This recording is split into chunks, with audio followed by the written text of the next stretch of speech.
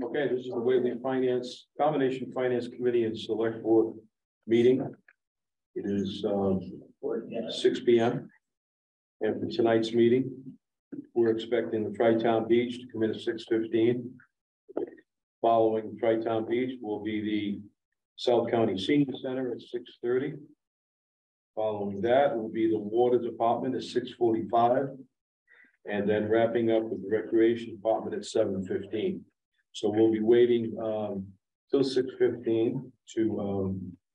Um.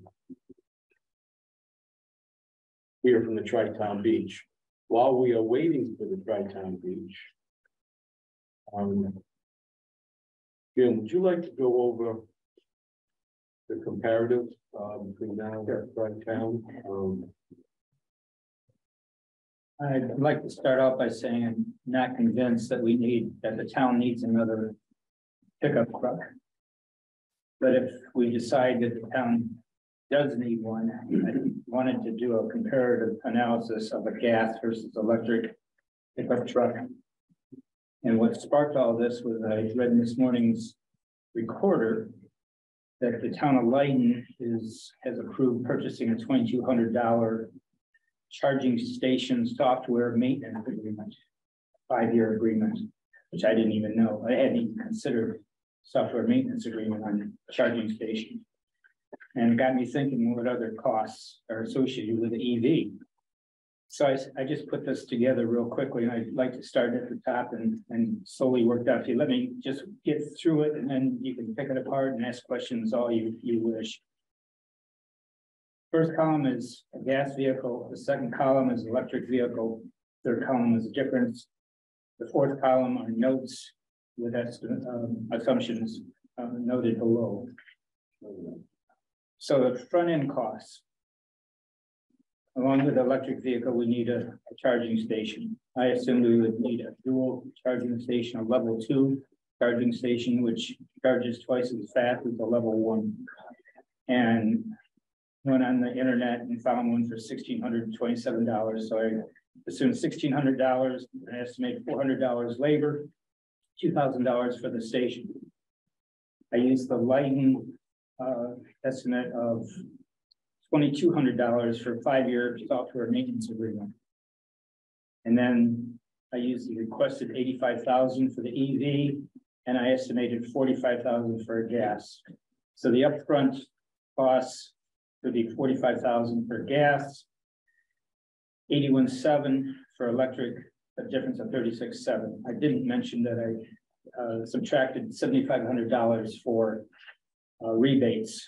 Rebates range from fifteen hundred to seventy-five hundred. If, if I can, yeah, I just have a comment on the cost. Uh, I know Keith, I think estimated the eighty-five thousand dollar cost. I happened to just pull up the Ford website for the prices on F-150 electrics. And they run from thirty-nine, nine seventy-four to ninety thousand, eight seventy-four. Okay. You could let me just get through. Oh. I'm, I'm sorry, but, uh, before you got that, yep. So, uh, based on the request of eighty-five thousand. Um, I have that plugged in here for the electric costs, netted out the rebate of seventy-five hundred, so eighty-one seven. Versus forty-five thousand, difference of thirty-six thousand seven hundred. Annual operating costs. I use the current US average of three dollars forty-five cents a gallon. For a gas, I used my last twelve months electric bill. Averaging twenty-four point six cents per kilowatt hour, and that's the, an aggregated rate. For electric. The miles per gallon, I estimated fifteen dollars for gas. Miles per kilowatt hour, I pulled that off a Kelley Blue Book article this morning, three miles per kilowatt hour. So twenty-three cents a mile for a gas vehicle, eight cents a mile for an electric. If we assume fifteen thousand miles a year, again, it could be much higher. I'm just using fifteen thousand. Gasoline costs would be thirty-four hundred and fifty dollars a year. Electric costs would be twelve hundred thirty, difference of twenty-two twenty. I assume Annual maintenance costs for gas would be around a thousand a year. The total operating cost for gas would be forty-four fifty. For electric would be twelve thirty, a difference of thirty-two twenty. So if we use the upfront cost of, uh, difference of thirty-six thousand seven hundred dollars, difference between the gas and the electric, divide that by the savings for an electric vehicle of thirty-two twenty a year, that'd be eleven point four year break even. So I, you know, based on what Fred has now said, that break even would be cut in less than a half from, Well, I, I don't know, we'd have to talk to Keith about what was necessary. I can't assume that we would get the. That was lowest basic. range, that was a range that you That, just, that was a range. and the but number Keith gave us was. Was right near the top of that range. What, what was the the number? request is eighty-five thousand. Right, the request is eighty-five thousand, so that's, that's a number that we have to work with here. So I guess my point is, based on these numbers, these estimates. Um, we'd be breaking even when we'd have to trade the vehicle in. It's, it's a ten-year-old vehicle now. Um, Probably eleven-year-old vehicle by the time we found a replacement for it, so it'd be a break-even situation here based on this set of numbers. And again, I question the need for another vehicle at all. I, I'd like to see the log. The emergency call log for the fire department's new pickup truck. See what kind of usage we're looking at there. It's, I go by that truck several times daily and I never see it move. And I would suggest that we think about taking that fire department's vehicle and let the highway department uh, use it for their needs, replace the old. So comments, questions, pick it apart. Um, Joyce commented that the cost he quoted includes the charging. I'm sorry, I couldn't hear you. The cost that Keith quoted already includes the charger. Okay. And the charging maintenance agreement? You didn't say that. She did not. She- Okay. And was, was that a, uh, was that a quick charger or was that a? Um, my nomenclature with the EV is a little bit, a little bit behind the times here, but, uh, we, how quickly? Or how many charging units will, will this require? Will this require a charging unit? At, uh, Keith's home, uh, just one at the, at the DPW garage, or, so those are also things that have to be, um. Have to be looked at as well, but to this point, um, Jim's analysis is, uh. Pretty, pretty, pretty much the most complete I've seen to this point. Um, I think he did a great job on it. Um, so it's something that obviously the finance committee will take into consideration as we move forward. And we think about these um costs. Any other questions for Jim or for this analysis? The only other comment I have is that financial consideration isn't the only one of electric versus gas. No question. I don't, I, I don't think anybody would, um, argue that one. Um, May want to spell that out. Environmental. Do we want to, would we rather have an electric vehicle or a gas vehicle? that's, um, that's almost, that's, um, you know, that is a discussion that we can have downstream prior to making. I, I just wanted to get on record that it, it's good to have the financial analysis. Thank you, Jim, but that's not the only consideration in this potential purchase. Thank you, Fred. Paul, Yes? um, uh, Jim, thanks. That's really interesting.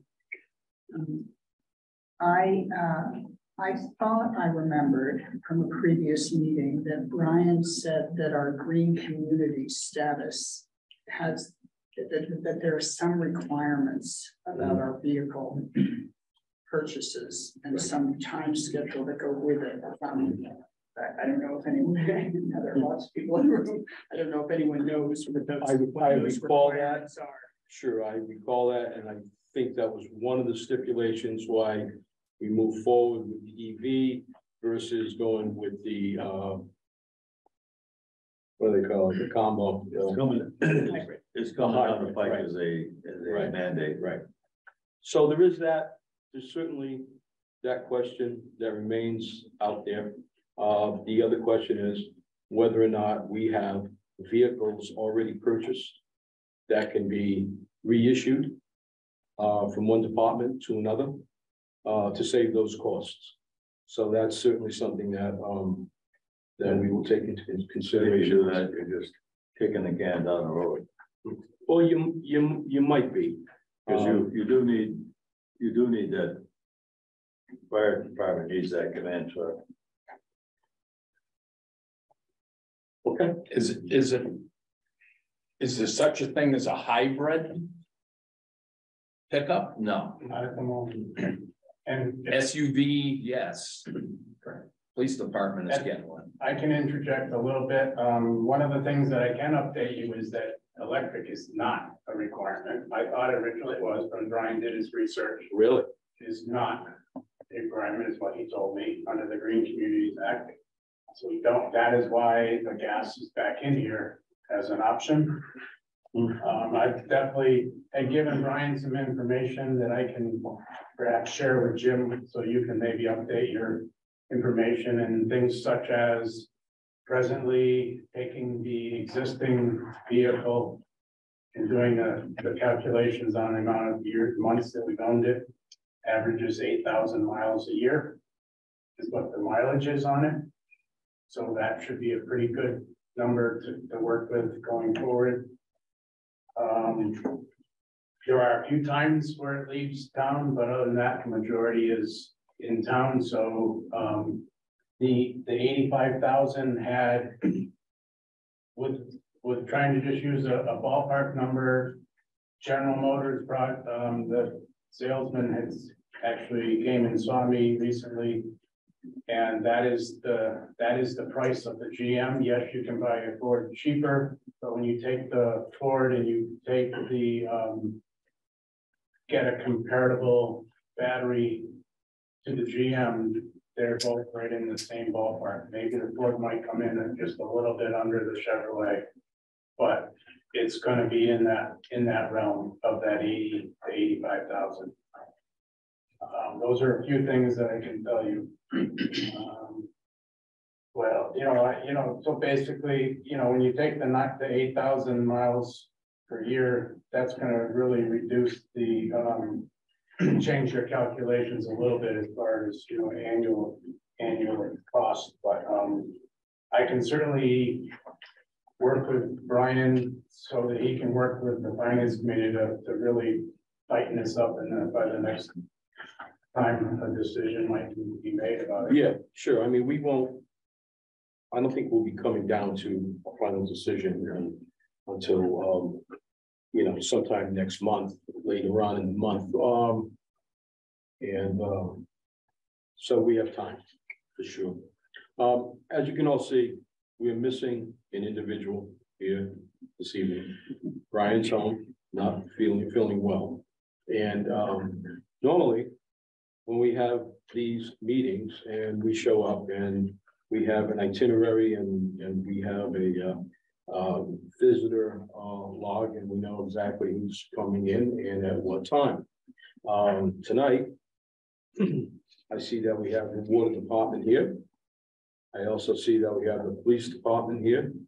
Um, and Keith, you're here for I was just going to be here to represent the personnel committee. Then the personnel com- committee is here The gentleman from Tri-Town is on Zoom. and Tri-Town is on Zoom. He's still- Okay. Okay, so let's bring, um, Mr. Chair, yes, two our minute, please. The minutes. minutes. Minute. That's an excellent. I make a motion, we approve the minutes of the March first meeting. Second. All in favor? Aye. Aye. Um, is there anybody on Zoom from Tri Finance Committee? No. Okay, but so on Zoom, we have the um, Tri-Town Beach. Okay, they are, they're due to be on at six fifteen and let's bring them on and, okay.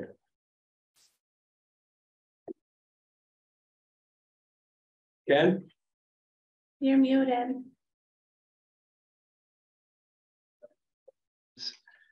Can you hear me now? Yeah, you're in. You're in. Okay, How you doing? good, thank you. Um, my name's Ken Cutterback. I'm a Deerfield um, Commission member from Deerfield, obviously.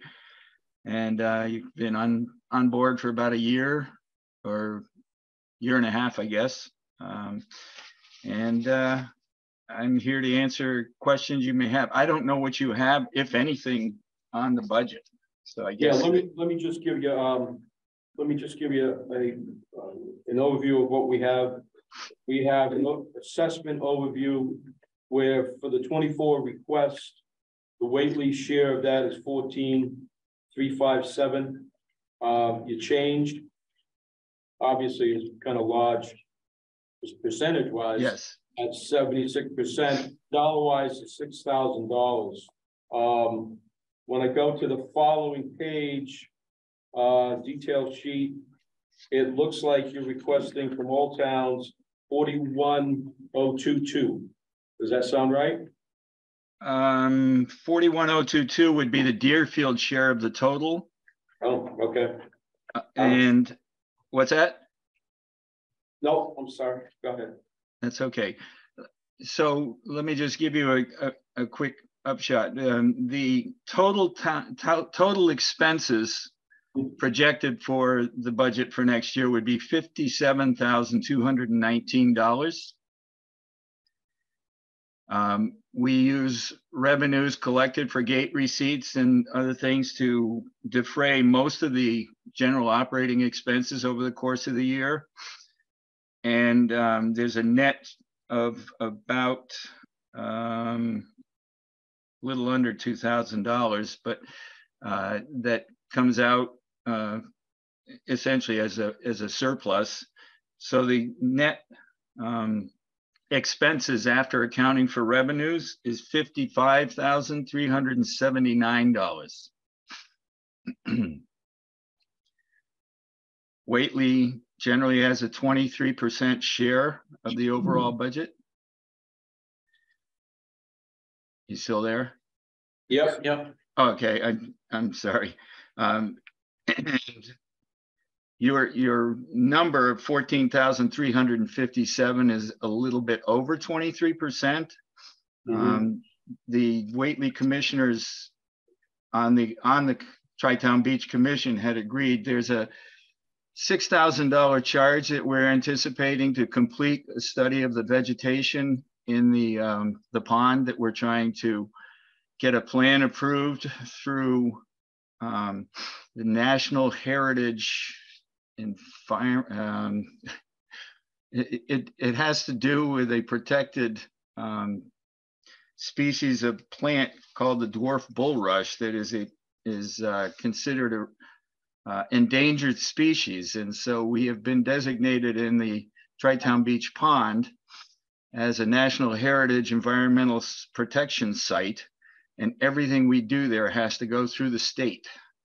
Um, it has to be permitted and everything else. We spent um, a significant amount of money last year to get a full study done and a preliminary plan put together. And now we have to go through permitting and they're estimating, the estimate we've received is about six thousand dollars. It's a one-time expense for this year. Um, and uh, we're hoping to get, get the work done so we can begin treatment of the uh, vegetation in the pond.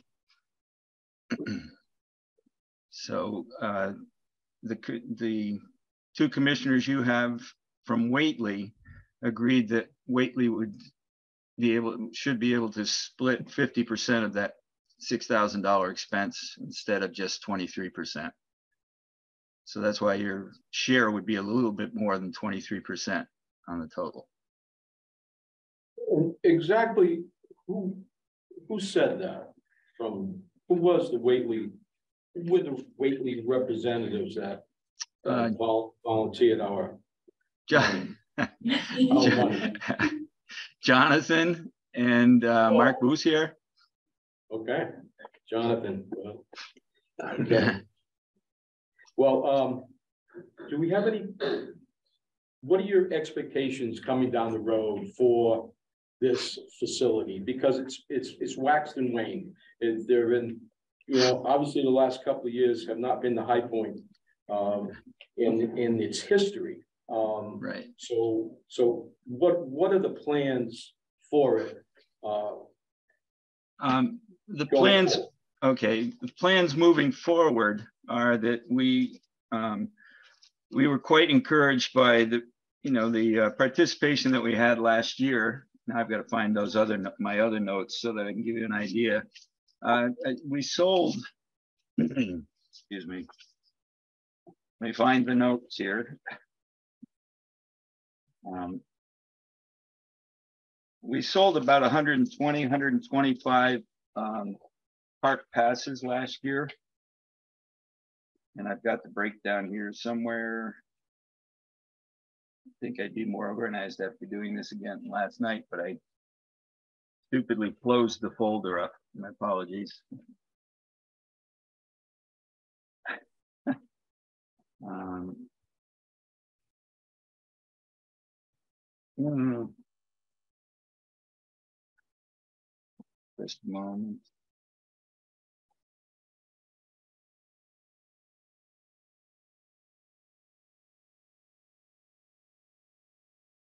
Not having luck finding them. Well, um, Okay, I'm sorry. Uh, but basically, what happened last year is we, we spent, um,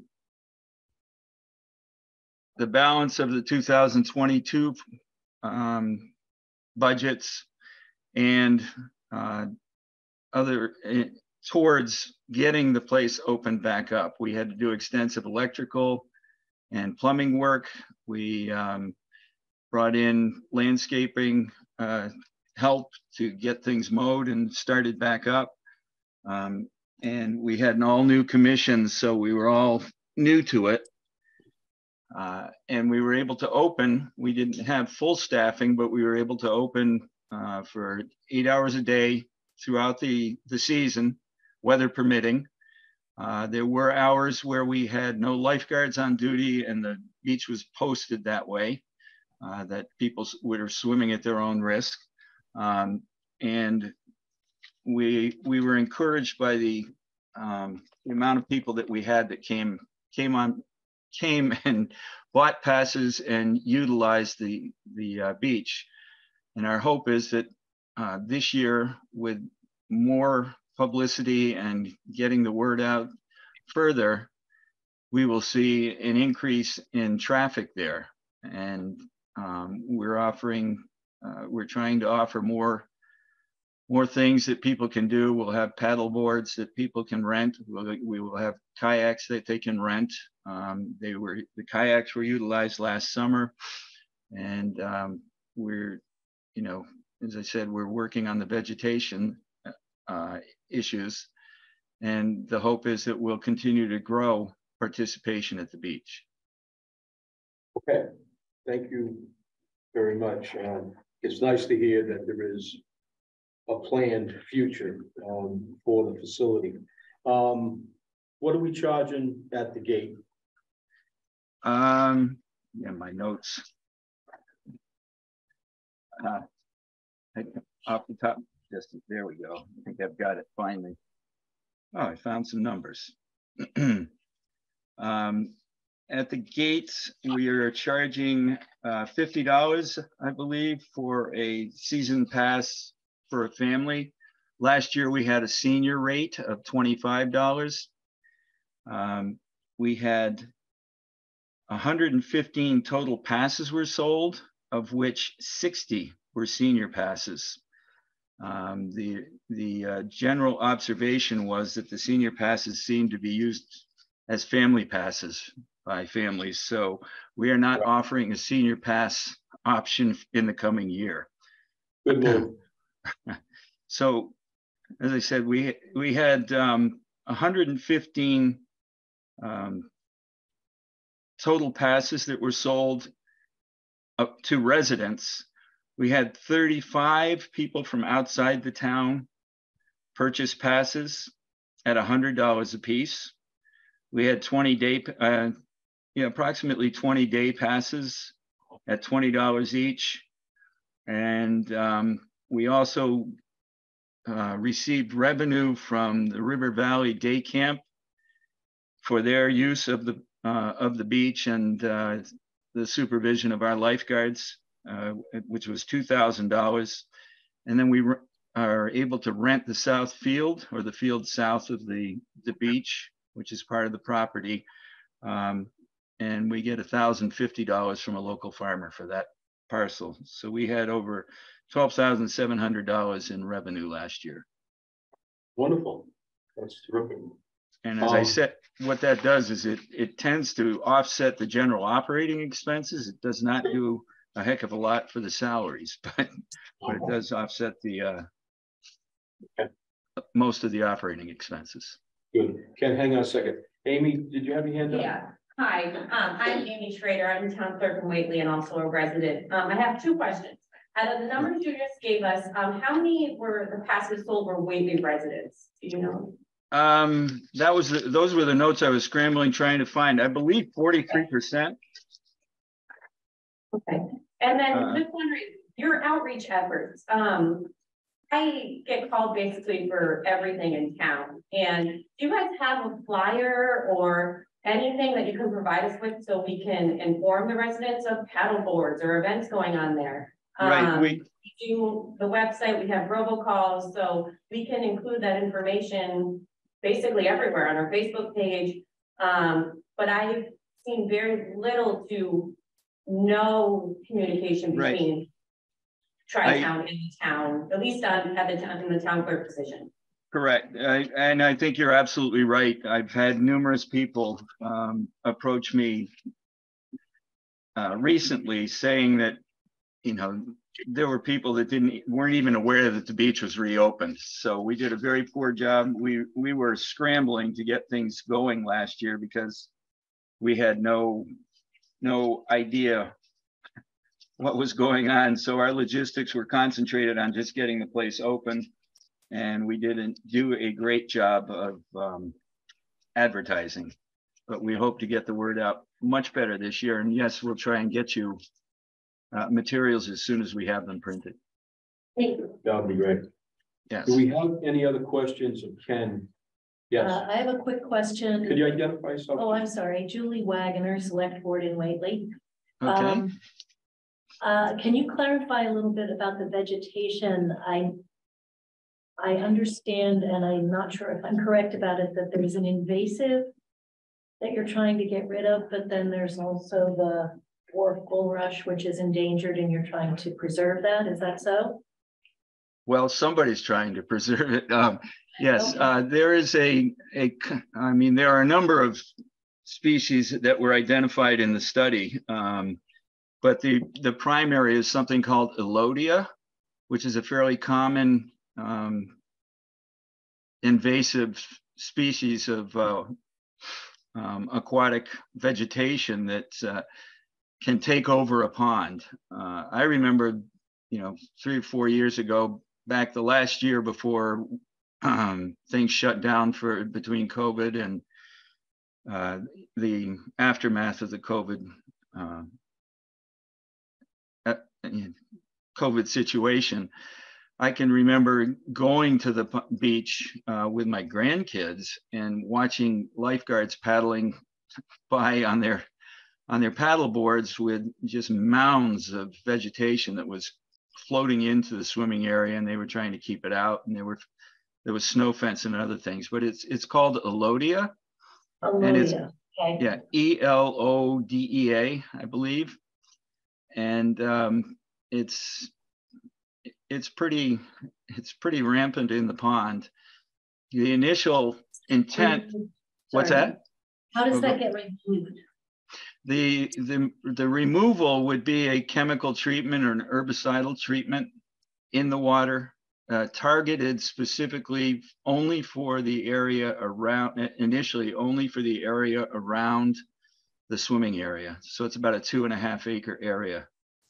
We're Okay. also looking at the possibility of um, possibly being able to get something done with the Army Corps of Engineers, but we don't have anything official on that yet. We know that it's, uh, it's been done down in Northampton. Um, and, and was covered either by grants or by, uh, the Army Corps, but we don't have specifics on that program yet. First thing we have to do is get a, an approved plan for management and, a- and, uh, clear designation of what we can and can't do about this, uh, this, uh, dwarf bulrush population that we have. So, Thank you, thank you for clarifying. sure. Thanks, Ken. Um, any further questions for Ken regarding the, uh, Tri-Town Beach? Uh, situation. Ken, I'm glad to see that you're representing Deerfield on there. Ken comes, comes with a long, uh. Pedigree, uh, in, in regards to, uh, what he's done in Deerfield between DES and, uh, Frontier Regional High and ski coach and ski team and all of that, so.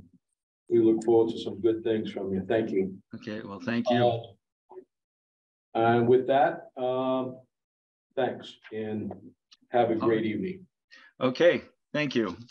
And the, if you need any more information, you may certainly, Amy can, Amy has my email and I can be contacted through that. So, And, and just as a final note, um, how we approach the budget here in Whately is that we listen to all, all of the departments and all of the requests. And then as we head, as we get towards later on in the year, as we get towards the annual town meeting, uh, we make a decision based on what the revenue looks like and what we can afford. sure, And then we vote in that light, so, okay. okay. And if I, if I may just add one thing, um. A significant or most of the increase that you're seeing uh, in addition to the three thousand dollars for the um, vegetation study or the uh, permitting is it's it's almost all salaries. When we Mhm. went to to uh, reboot last year, our intent was to pay about seventeen dollars for lifeguards, and we couldn't hire anyone for less than twenty. So these, Yeah. the salaries this year reflect that uh, Sure. uh, that change. So just, just so you understand. Okay, Okay, thank, thank you all for your time. Thank you. have a good night, thanks. All right, bye now. Okay, we will move forth in the agenda. Um, Amy, um, Senior Center. Senior center was on at six thirty. Mhm. Thank you for coming. Please have a seat. Um,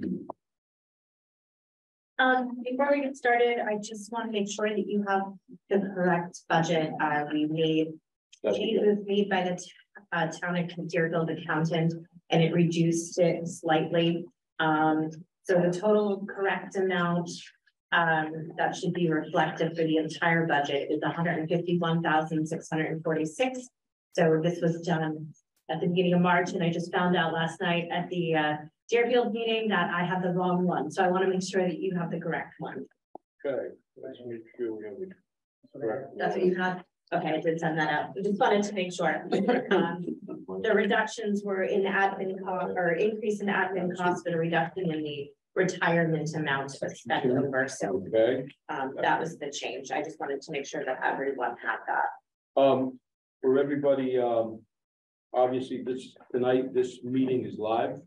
And, uh, could you identify yourself? Sure, my name is- introduce? My name is Jennifer Brummelard. I'm the director of the South County Senior Center. Okay, terrific. Thank you. Jen. You're welcome. Um. Okay, let's, um. Of you guide us through Sure. where you see the height, the. The increases and why they're there.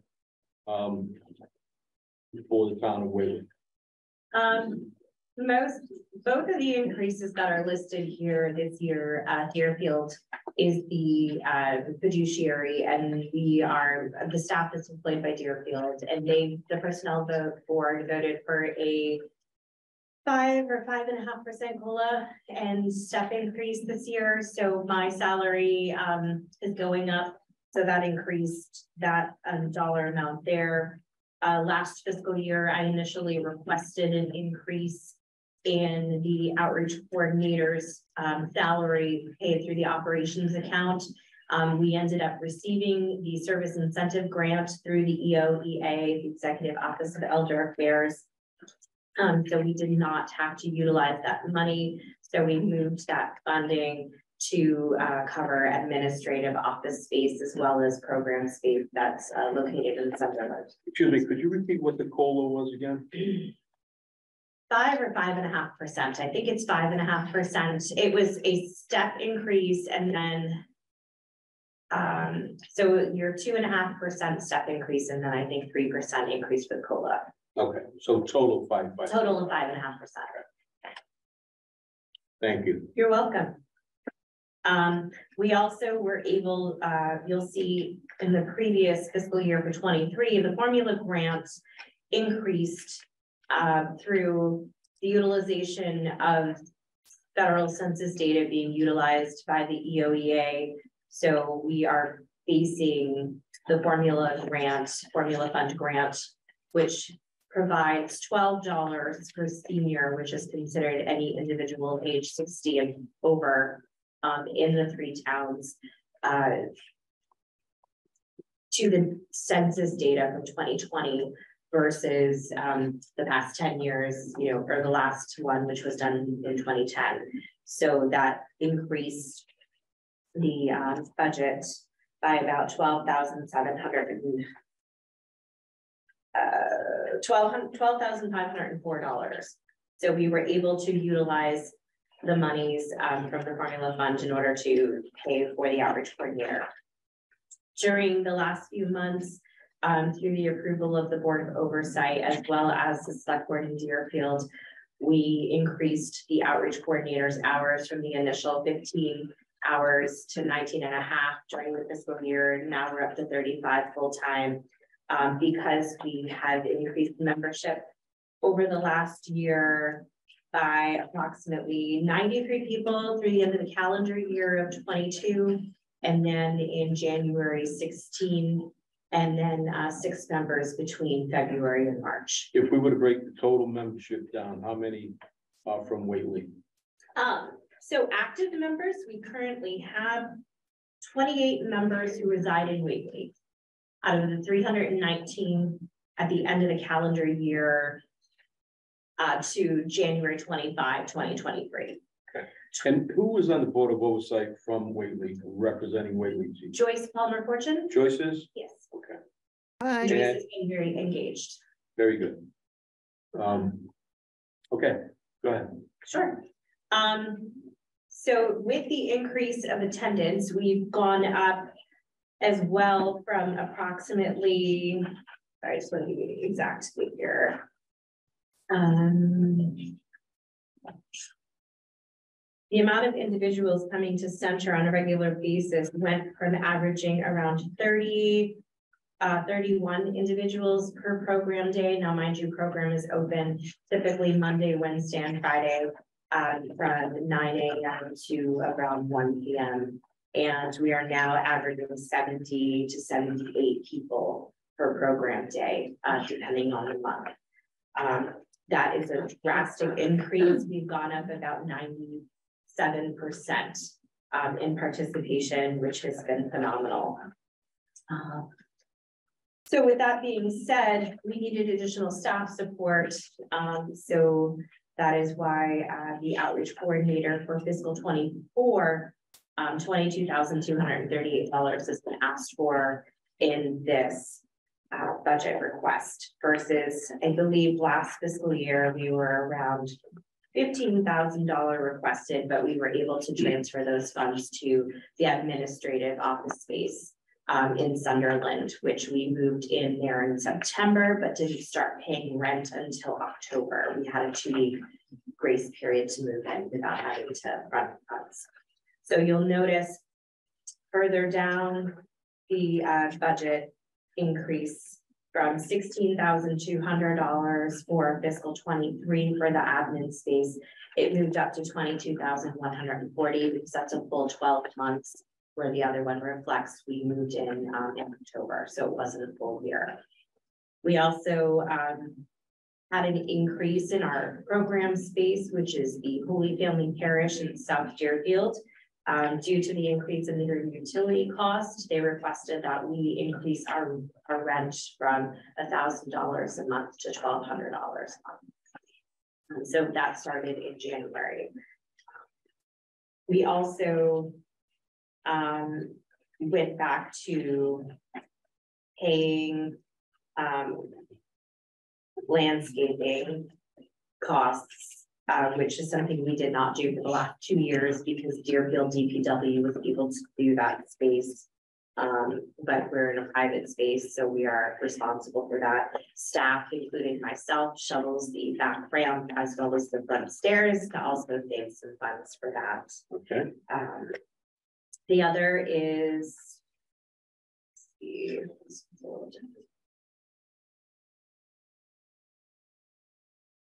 Let me make sure. We are also, as long as our um, water and sewer usage stays at a minimal amount and it doesn't increase drastically, the, uh, the landlord has indicated we don't have to pay an additional fee. It's included in what we're paying for rent right now um, at the Sunderland space, so that's been beneficial.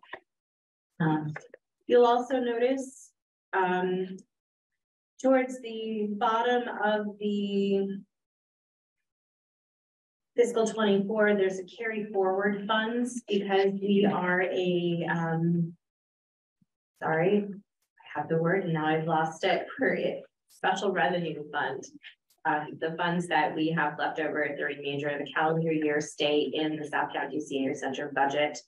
Um, and at this point, we're able to carry over twenty thousand five hundred and ninety-one dollars into the next fiscal year budget. It's probably leftover funds because of COVID factors, not having to spend as much money during that period of time. And also being without a director previous fiscal year for like six to seven months. Right. We've also, some things to note. Um, I don't know if included in your packet is our formula fund grant, which goes back to the twelve dollars per senior that I had mentioned before. yes, Um, okay, great, I'm glad you have that. So we're able to fund the remainder of the outreach coordinator with the um funds from here. The service incentive grant, which um we weren't sure if we would get last fiscal year or this fiscal year for twenty-three. Um, we did end up receiving, but we were told is specifically going out to uh, be a competitive grant in mm-hmm. 24. Um, and it's going to be open up to all 350 uh, one towns to and communities to apply for for um, for the next year. We will apply for it, but that does not mean we will receive it. Um, but we were able to receive and reduce uh, the payments from the operations budget by $13,135.05 um, with that grant coming in. Um, in addition, this formula fund grant also pays the entire salary of our program coordinator and that individual's uh, Medicare payments and longevity pay, which is a benefit um, that Deerfield gives their employees over ten years, I believe. Um, You'll also notice an increased cost for printing our newsletter. Since we have increased our membership, there has been a high demand for our newsletter. Given our demographic, not everyone is able to access it on the computer. Um, so we still print off copies and you, you know, mail them in the mail, so people have access.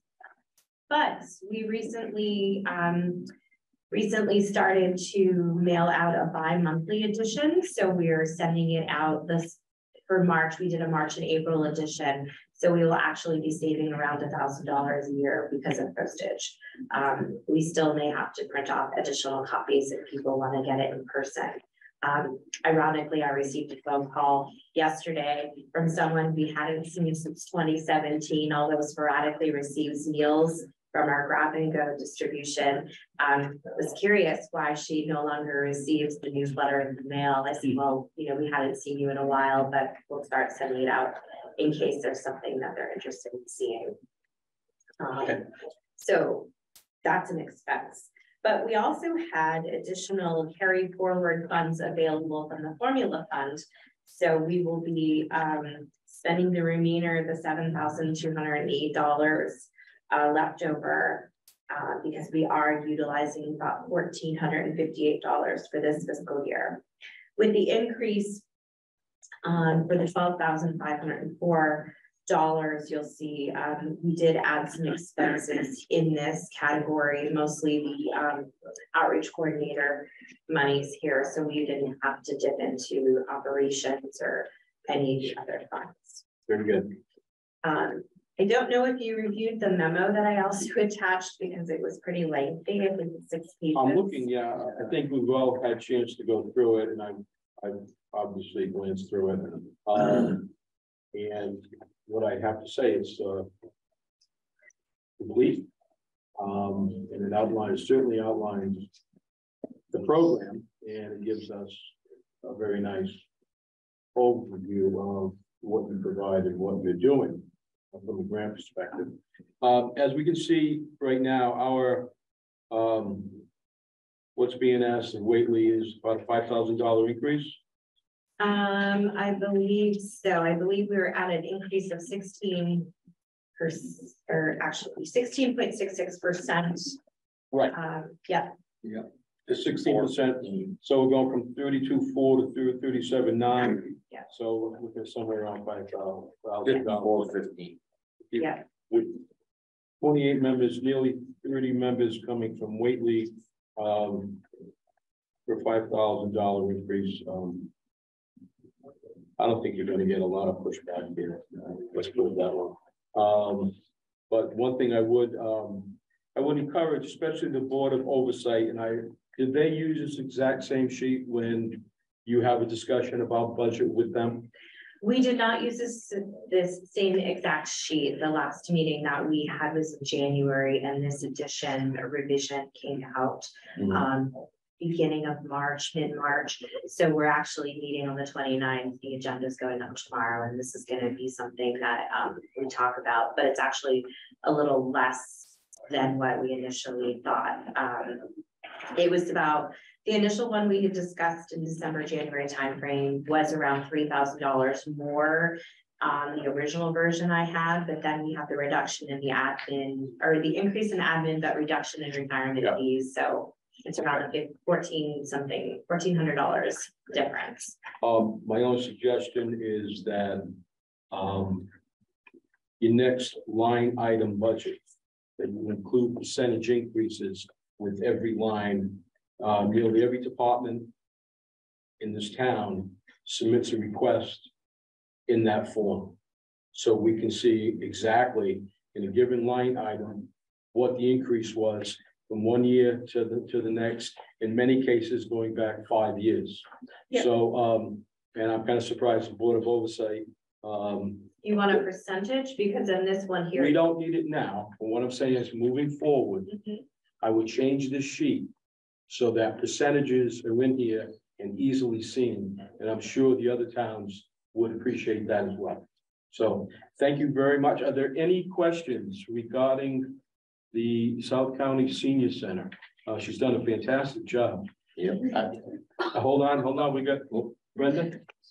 Uh, okay, I'm terribly sorry, but I'm looking at Jen and going like, did you just work for a long? Time? Yes. I I said that to you last time too. Fifteen years. Oh, we haven't seen, okay, anyway, good Sorry. job. Thank you. Nice to see you after all this time. You know, it's a small world. It is. Isn't it? Um, Amy, you had a question? Yes, sorry, hi, Amy Schrader, town clerk. Um, is there any way we can get copies of your newsletter? Um, real estate taxes will be due May first. I would love to have them out, which will not have your foot traffic. We can pass them out to residents who come in, or who it's appropriate to give to. Um, and then also, like, for programs, is that all listed in the newsletter? Because we can do as much out- outreach in the office as possible. Our Facebook page, any, anywhere where we can get it to, and also with Joyce, I'm not sure if she mentioned to you the Whately Scoop about putting an article in there. We're gonna have one for the May edition. Okay, thank you. We didn't have one in time for the uh, December edition, or We have a uh, question from Fred, so select board member. Is the funding distribution between, among the three towns set by the charter of the. Yes. Through the IMA agreement, the intermunicipal agreement that they have. Um, and I believe that was done in twenty twelve or twenty ten. Um, so that's on Okay. record with each town. Has Conway ever approached? Um, no, but we have actually discussed that during the Board of uh, Oversight meetings because we do have members from Conway who do attend. Um, the senior center. Um, Be nice to get them involved. I'm sorry, It would be nice to get them involved to uh, yeah, share the load, so to speak. Um, you know, one of the things I do want to impress upon, I hope all of you do read, um, the grant section of the memo because we, um. I I applied for and received eleven thousand seven hundred and twenty dollars. Um, through LifePath as well as, um, forty-six hundred dollars for this fiscal year from the Fred G. Wells Trust. And I just applied for another Fred G. Wells Trust, uh, grant for fiscal twenty-four for exercise classes as well. Well, if you ever decide that you'd like to move to a municipality to do that same kind Be of a work. grant writer, we Don't will hire have you. to- You don't have to look too far. Um, that may be available. It may be available. Um, I'm just shooting that out there. Any other, any other thoughts, comments, questions? Uh, thank you very much, uh, because we remember the days when it wasn't like this, you know. Yes, last year I was very happy to be able to give you statistical data. We're working to make sure that all of that information is accurately reflected um, on a monthly basis. Very good. Thank you. Have a good evening.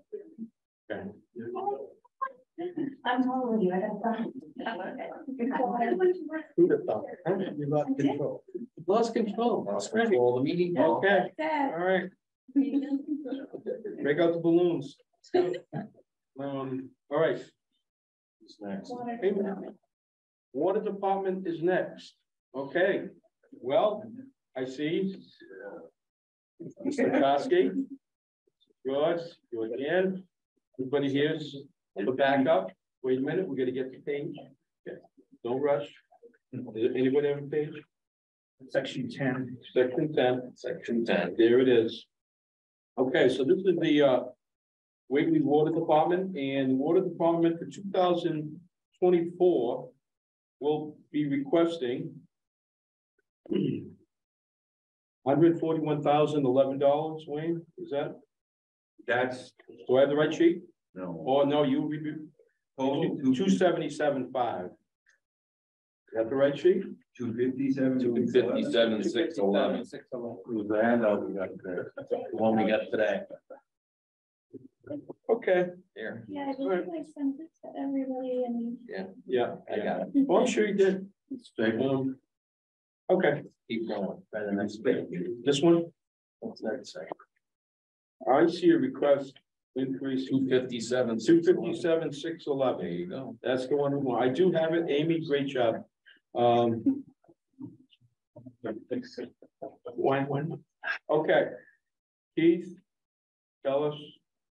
Keith, Keith, That's Wayne. Wayne. That's Wayne. Wayne, Wayne. Wayne, but in case Wayne falls, Keith, could you just jump in for for him? Uh, Wayne, sorry, okay? All right, go ahead, Wayne. So, you know, see, I might bounce around a lot, because it might get confusing. So if I go step by step, the dues meeting, off slides, advertising, like, advertising are all the same. Electricity, now that the center station's been running for a while, I have a better idea of what that costs in electricity, so that's up by two thousand dollars. But we did get receive, get whatever you wanna call it, a grant to put solar panels on the pump house, oh, I did, huh? which I still not hundred percent on how everything works with that, but it sounds like in the end, it's an eighty thousand dollar system that I think is gonna cost us like seven grand in the end somehow. Wow. And they estimate a yearly savings, it's not gonna cover the whole electric bill, but it'll be like five grand, six grand. Mm-hmm. Phone and the cable stayed the same, testing and chemicals, I use a lot less now, so that dropped. Maintenance stayed the same, parts went way down because we put a lot of new stuff into the system in the last four or five years. Truck maintenance went up a little bit, little bit. Hmm. Percentage wise, yeah, percentage wise, it went up huge. truck's getting older. Yeah. Now, here's where it might get Yeah, start getting confusing. So the engineering jumped a lot. We had our sanitary survey done this spring. And there's a bunch of things on the sanitary survey that the DB, DEP is requiring us to get done. One of them we have done was, we hired an engineer and been dealing with an engineer to develop a capital improvement plan for the next, I can't remember, it's either thirty years, twenty years. So now that that's done, the next one, um. The next step in that is. To do the other part, I guess I gotta go back into it. We're required now to apply for. A withdrawal permit with the state because we now, any, we now average over hundred thousand gallons a day over a three month period. So now we get this permit, and even the permit's gonna cost just in the engineering and all that stuff, about fifty grand. Hmm. And we've done half of it, the, the extra, that's why the engineering on this budget went up so much is to get the other half of it done.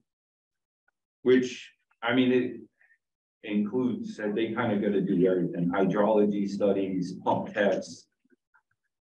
There's a lot involved.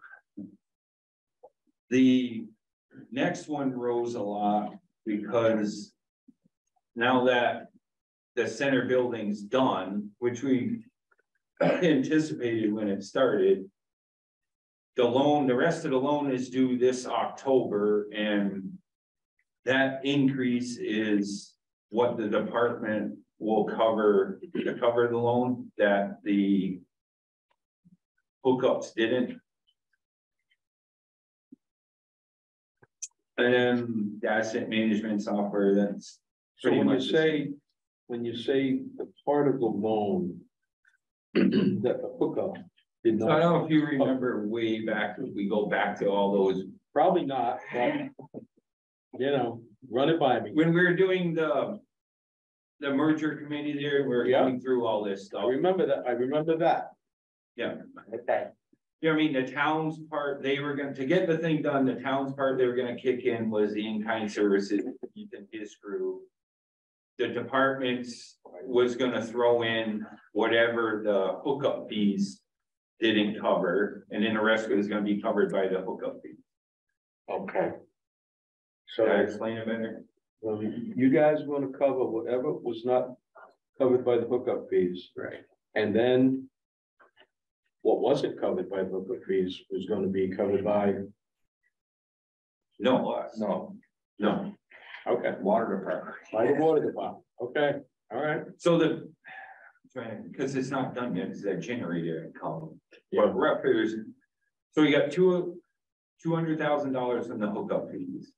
And then the town's portion was Keith and his in kind, the in-kind services, I guess you Yeah, call them. right, right. And then you're still short about twenty, because we had to re-borrow Okay, from, because it was originally due last October.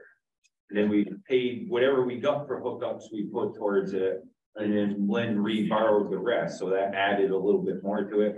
So originally it was gonna cost the department like eighteen thousand, now it's twenty, Twenty-seven something. something like that.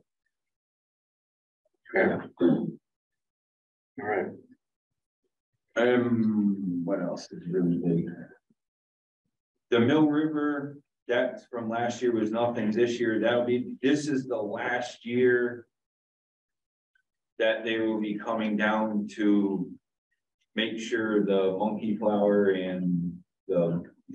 zebra mussel, The mussel. the mussels are taken care of? Whatever and else. Everybody's doing well. Sure. Oh, and the box turtle. There you go. Wow, okay. Well, The debt year. service for the manganese loan stayed the same. I mean, a lot of these. The tough thing is looking at the numbers. The budget went up a bunch this year because of. The DEP stuff we gotta do and then that loan being due. Yeah. The total numbers are tough. You know what I mean? If you're just looking at them to compare because of that whole two hundred thousand dollar thing from borrowing to paying back. sure.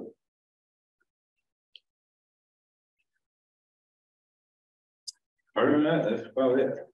The, whatchamacallit, the overhead, I don't, Brian does that. does. Um, and unfortunately, he isn't here, and we have the, uh. We really don't have a request in here for that, um, Yeah, which I'm guessing, I mean, it usually goes up a little bit every year. yeah. Okay. All right, well, But the other thing is, I don't, I mean, I'll tell you now, I don't think this is the final budget, mhm, because now that we have that. Capital improvement plan. Yeah. We're now gonna sit down and do a rate structure to match it mhm. Yeah. What do you think of the rates now? now. On, on the We're rates? too low. They're what, please? Still low, low. Still too low. Okay. Um, and when do you project that they will rise? It'll be, it won't be for this. We haven't had to be an the bill yet. There won't be this billing, it'll be next billing, so should be October. Right, well, you have a plan, that's for sure. But you can stay afloat between now and then, that's. Yeah, I believe Yeah. so. I mean, the tough thing is, is usually by now. We've read in October and then the second reading is usually March, so you have a good idea what it is. Yeah. But because of the software stuff and all that, we haven't read it all yet this fiscal year. Wow. Yeah, So like all the new hookup, nobody on the new hookups has had gotten a water bill. no, nobody on any, Nobody on any, not for this fiscal year. is that being resolved? Yeah, hopefully, maybe, you know. Hopefully. Look at Amy. It is being resolved, however, the amount of time it takes is somewhat unacceptable. For, for, for them to be transferring data from one software system that we had to another. And it, it's unfortunate that it does, and hopefully, you know, I don't. Residents aren't gonna be that happy in April. No. It's a pretty large bill, but I do feel a significant amount of them are aware of it, but it's unfortunate. like, We, the we switched billing software. Yeah, and, and we have, we have to, to get a new billing software that can coincide with our new billing, with our new billing software. And for the water department, and it's, it's unfortunate, it's just the way sometimes this works, mean, it's not acceptable, I think. Oh, no. Um, but I can't push these people to go any faster to bridge the data. Yeah. I mean, and so, but they do promise that they'll have something in the next two weeks, so, and then they're gonna do a training on it, which will be great, and Yeah. we'll get up and going, but. You know. Meanwhile, the water department isn't get, taking in any money. You're completely right, Right. yep, And, uh, the next bill is gonna be a whopper. Yeah. Yeah. It'll be a full year's worth instead of Water. twice. Yeah. Yeah. Has there been any public notification in the scoop or anything that get, get ready, I don't. get ready, save your money, you're gonna. But if you're, you're on the water system, you know you're not getting your water for free. Right. So. Yeah, And you know you have to pay the bill along. Yeah, most of them I'm hoping realize, yeah, I mean, because most bills are, everybody's bills twice a year, pretty close to the same to itself. Yeah. So hopefully they just realize and just kind of stuck it to the side.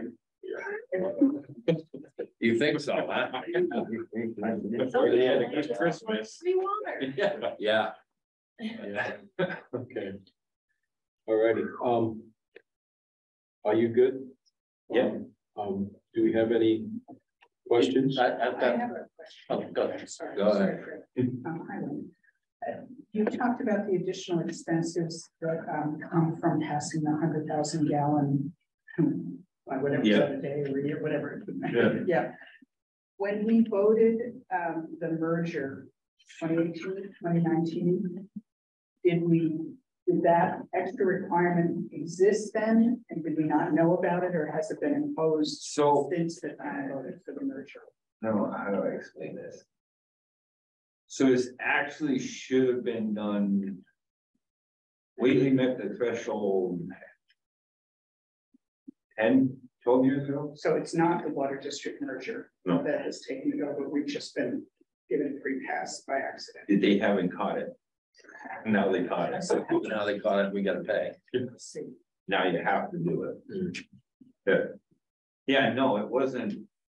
The additional volume that the center uses. Well, you haven't, you haven't, you haven't billed us.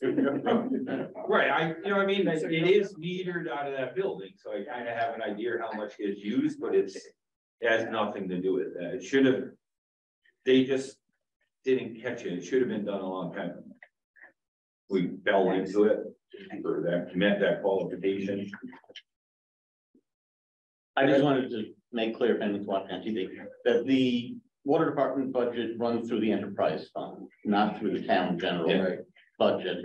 That the revenues aren't coming from the general tax levy, they're coming from rates. Yeah, water- water bill, but yeah, I, I just want to make sure that everyone knew. That's a good point, Fred. They're really right. That, that's the way it works. And that's probably why I'm so interested about the rates and rate collection. So, um, Right, but it, it, it's not gonna affect the tax rate or anything else, that Not at all. money doesn't go through the general that's budget. true. That's true. Um, okay, anyone else? Any thoughts? Okay. Wayne, thank you very much. Thank you, Wayne. Commissioners, thank you for coming in to back Wayne up. Okay.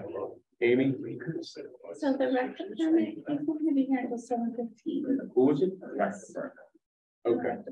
And While we're, while we're waiting for the rec department, I think we can move towards the uh personnel. Yes, no? Yeah. You good? They've been waiting, so let's, um, so it's Keith. Uh, you here? Alone Yeah, by well, I mean, I'm, I Amy just here? am present, there's obviously maybe other people in the room that have interest of what's going on this evening also.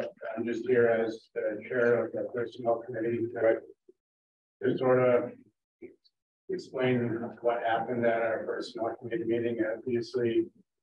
The select board and the finance committee members are here as well. Um, yeah, I, I will start by saying that, um, you, I know you have all the information in front of you, I just want to make sure you understand how the COLA that was presented by the personnel committee derived, and that was by taking the two numbers, one of them was the consumer price index for the Northeast, which was five and a half percent. And the social security increase for this year, which was at eight point seven percent, and the two of those numbers were averaged together. To come up with a seven point one percent, so it wasn't just a number picked out of the hat, by averaging those two numbers. I just want to make sure that your community understands where that number came from. Mm-hmm. Other things I'd just like to point out, and some of these things are just my opinion on how I see things that happen within the town, and that is things like when a department prepares and presents their budget with increases, then sometimes it's in materials, sometimes it's in utilities and things like that. And it's stated that those increases are to present a level fund of services. I'm looking at this kind of increase is that we're asking that the employees are asking for to get a level cost of. Of living increase, so that it's, we're trying to keep our employees whole. By, by doing that. Um, other years, we've been looking at things where the, the social security increases. Were lower, much lower than they are right now.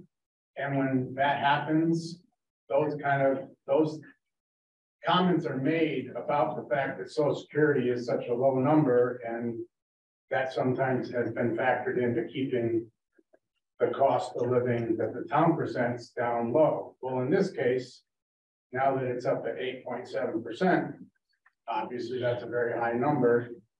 No one wants to seem to look at that number. Um, and then the last thing I have is that, um, other departments, and we just heard one this evening, that there are, you know, that they are presenting five to five and a half percent colas between steps and cost of livings, and it doesn't seem like there's that much questions asked about why or why, why are they doing that? Why can't they hold their numbers down? So, um, and so that when you look at, that take the, those departments that are doing that, and you just take over the last two years, that translates into an approximately a ten percent increase in the last two years. And last year, the town of Whately only voted to do a three percent raise, and you take that seven point one, and it's there now. That's basically coming out to the same number that other departments have received over the last two years that the town pays for. So those are just a few things that I wanted to point out. Um, I certainly, um, can answer any questions if anybody else has any questions for me or as well. Anyone have any questions regarding the um decisions to this point that the Whately Personnel Committee has brought forth? Um, right now, they're recommending a seven percent, Seven point one. seven point one COLA. And the um. um, I think you're referring to the senior center. And the senior center was at two point five COLA. Between the uh, Just talking COLA COLA. and the step. We need to talk apples and apples and oranges and oranges. Well, So we're talking COLA, and they were at two point five. And the school COLA is two. So that's, that's where that is. I understand, and I think we all understand the need to keep good people. And I think we have good people. Um, it seems like we've done a lot of research. Uh, I would question why the information that Amy pulled out from surrounding towns. The toll is averaging between two and four percent, were not used by the personnel committee, rather they used what the New England average was and a national num- number. Um, that's just a question. You know, we can answer that downstream. Um, but with your research, how much do we pay out in salaries now? Town of Whately. What's, what's our salary ball? What's the ball of salaries that we pay? Between all the departments? All the, everybody, not school, town. Okay, well, I, I didn't know if you're referring, I don't have that number in front of me. Well, I, um, I got in touch with our town accountant. And Our town accountant name is. I had that paper here just a short time ago. Um, that, Dara, Dara. Okay. So I asked Dara, I said, Dara, would you please send me what the town of Whately paid in salaries and um, split it between town and school so that we don't get the two mixed up. And I said for 21 and 22, because obviously we don't have 23 yet. But in 21, we were 988, 314. In 22, we were one million sixteen thousand twenty-six dollars. Um, for 23, I said, well, you know, last year we did the 3%, and then we had obviously people who had to have adjustments in salary and whatnot. So I just extrapolated and I said, okay, let's do 4%. So this, this is simply an estimate for 23. In, and so that would be um, that would be a million fifty-six, six, six, seven in salaries for the town. If I took that number, then I took the seven percent being asked by the Personnel Committee, that would bring us in twenty-four to one point one, one million, one hundred thirty thousand, six hundred and thirty-three dollars in salary. Now, from twenty-one to twenty-four, our salary ball for the town has increased by hundred and forty-two thousand three hundred and nineteen dollars. Not saying it's not worth it. Not saying that at all. I'm not saying it didn't go to good people who did good work over time, no question. But we have to look at the sustain, sustainability of that kind of an approach. And if you think about it, if you think about that seven percent, and, and you look at that over ten years, you've added to the, you've added to the cost of living in Whately by a little more than seven hundred thousand dollars, just with that increase. Because you got year after year after year, that increase stays there. It does not go away. So this is not a capital item. We have good people. This is a good place to work. People stay. Um, there's a lot to be said about, um, feeling good about where you work. Obviously, you want to be compensated. But those factors are factors that the finance committee has to take into consideration when we hear seven percent, we hear five percent, we hear four, irregardless. So you gotta know that there's more to the entire picture than the cost of New England being five point five and the national average being eight point three. That's all well and good. But we, we have our own economy here. We live in a rural town in western Massachusetts. Yes, it'd be great to compare ourselves to Boston and Weston and Newton and all of those places. We don't live there. We live here. And here, and here, here meaning Western Mass, we've got Conway at two point five to three, Sunderland at three, Hatfield at two, three, Ashfield, two point five plus seventy-five, Shelburne at four, West Hampton at three, Colrain at four. This is where we live. We don't live out there. Um, granted, you know, we heard from Brian that we had an employee here who got a job out on the eastern part of the state and got, got bags of money thrown at him. Wonderful, good for you. That's not where we live. We live here. So here is where we need to do our comparatives. So I'll leave it at that, but um, you know, we appreciate all of the work that a personnel committee does, and I don't know where this is going. I really don't. I don't know what the sustainability of this is. And what really scares me is the model that we use. We use a request model. And we use it with schools. The schools come in and they say, we need this. If we don't get this, oh my goodness gracious. We'll, we'll go to the tarmac. I think from my perspective, we need an allocation model. And what I mean by allocation model is simply this, that at the beginning of every year, the finance committee gets together with select board and whatnot, and we say, what can we afford? We can afford this amount of money. And we take that amount of money, whatever that percentage is, and we give it to the departments. We give it to the select board. That's what you have to use with the people who serve this town. Because you're the ones who oversee them. You're the ones who are the, they're, the, they're your direct reports. They're the ones who you understand what they do on a daily basis. We do not. So from my eyes, the ideal model would be an allocation model.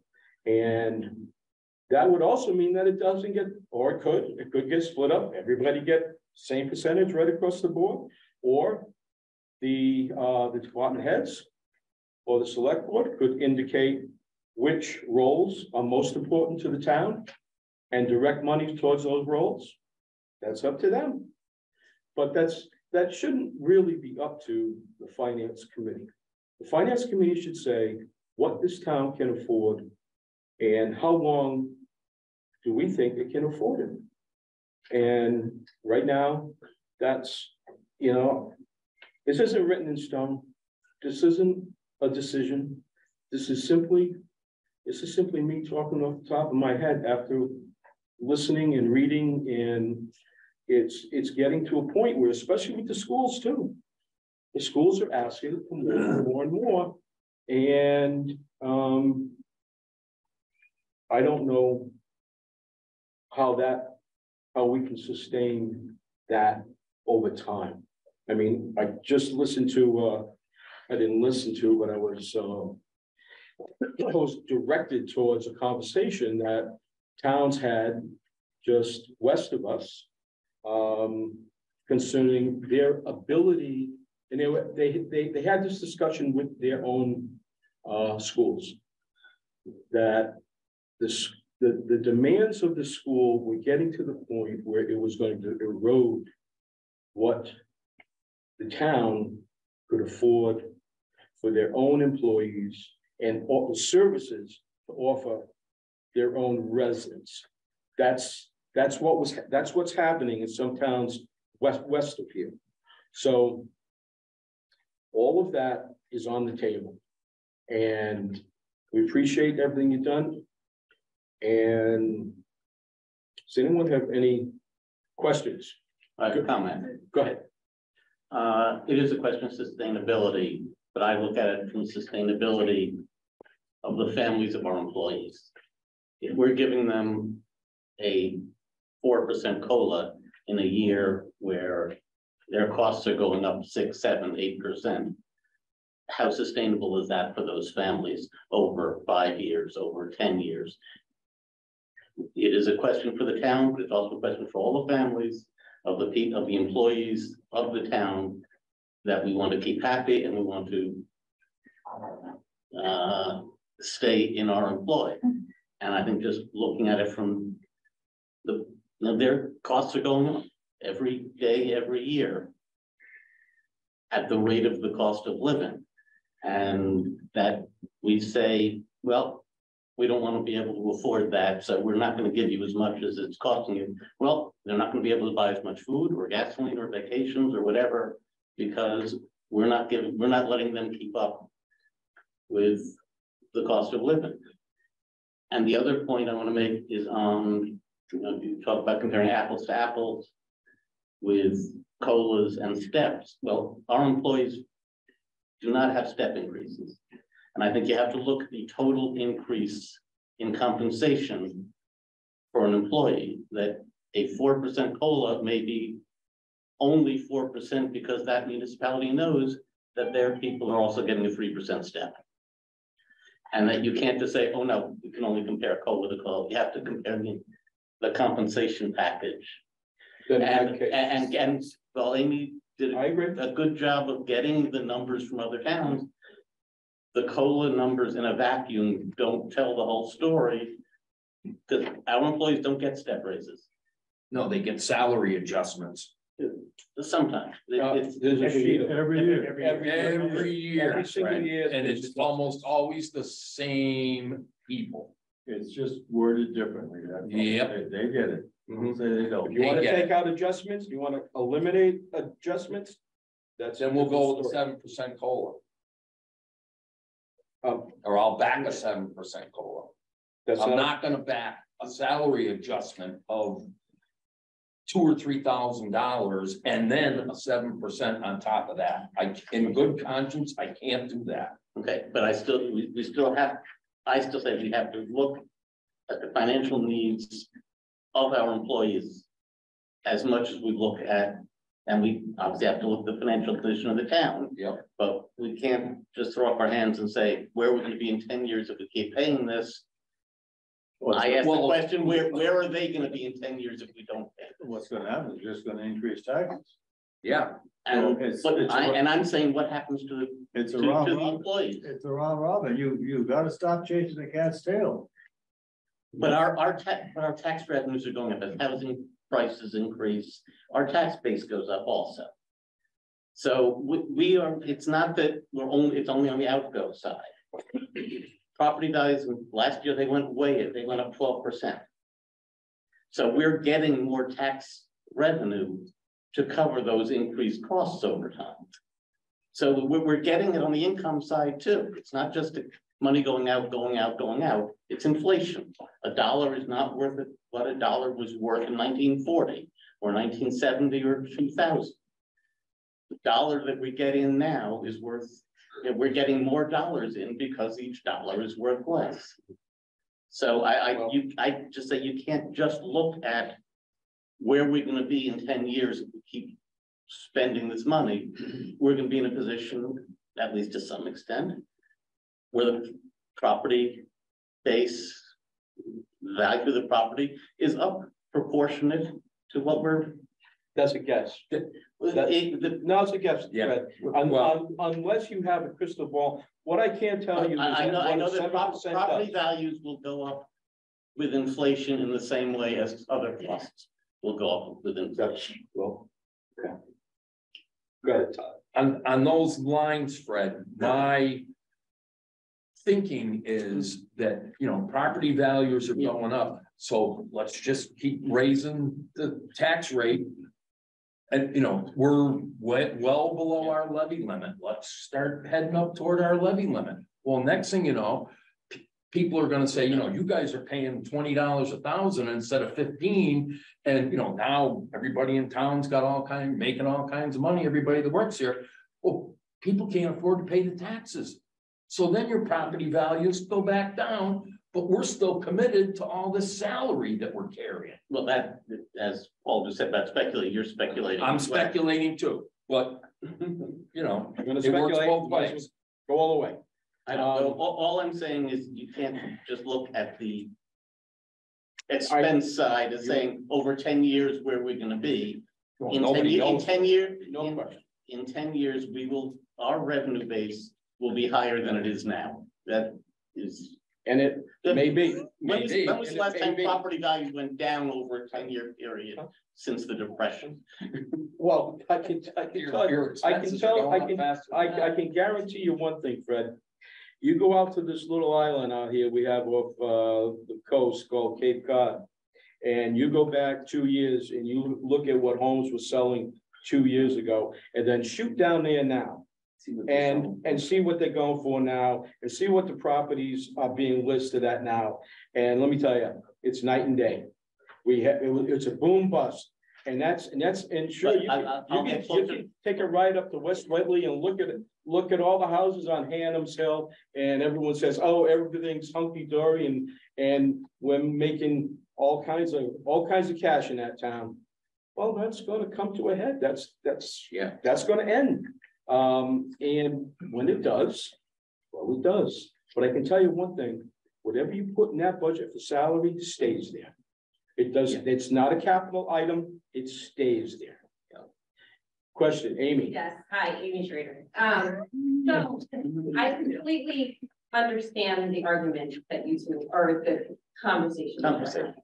So, and looking at it from a different perspective after working in the town for a while, and I mean, instead of focusing on what, well, what I, my opinion is where salaries are gonna be in ten years and where is our tax rate gonna be?